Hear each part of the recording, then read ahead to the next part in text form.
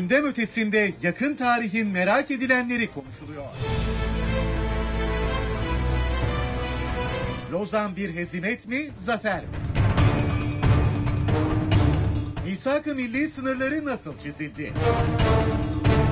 Musul ve Kerkük'ü neden ve nasıl kaybetti? Tarihi anlaşmanın perde arkasında hangi pazarlıklar yapıldı? Pelin Çift'le gündem ötesi. Diriliş Ertuğrul'dan hemen sonra TRT 1'de.